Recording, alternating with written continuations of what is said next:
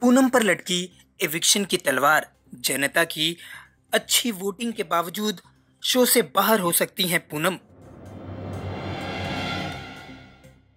Reality show lockup में पूनम को दर्शकों का प्यार जमकर मिल रहा है।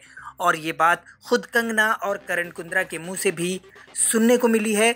इतना ही नहीं जजमेंट डे के मौके पर भी ये देखने को मिला है कि जजमेंटल जनता ने सबसे ज़्यादा वोट देकर कई बार पूनम पांडे को बचाया भी है। और इस बार भी पूनम पांडे का नाम चार्जशीट में शामिल है और यकीनन ये उम्मीद की जा सकती है कि जनता की वोटिंग के आधार पर पूनम बच भी जाएँगी। लेकिन जिस तरह से पूनम दो हफ़्ते से बिल्कुल कम दिखाई दे रही हैं, लोगों के साथ बातचीत करते हुए नज़र तक नहीं आ रही हैं।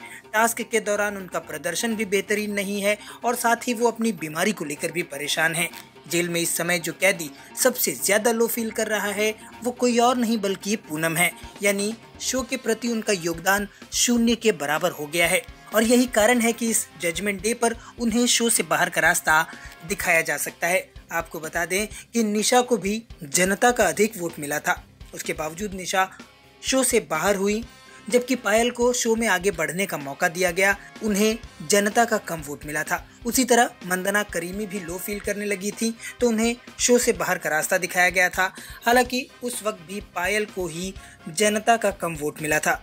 पायल भले ही कम वोट पा रही हैं, लेकिन उनका खेल में प्रदर्शन काफ़ी अच्छा है और मेकर्स की मजबूरी है कि वो पायल को शो से बाहर नहीं करना चाहते हैं।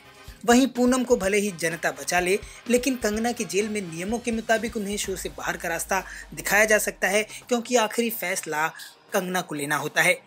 ऐसे में इस हफ़्ते पूनम का बचना मुश्किल माना जा रहा है। अब देखना ये होगा कि शो से बाहर होने वाले सदस्य के तौर पर शो की होस्ट कंगना किसके नाम का ऐलान करती हैं। टीवी और इंटरटेनमेंट से जुड़ी इसी तरह की खबरें लगातार पाने के लिए आप जुड़े रहिए हमारे चैनल से और अपनी प्रतिक्रिया कमेंट्स के ज़रिए हम तक ज़रूर पहुँचाएँ।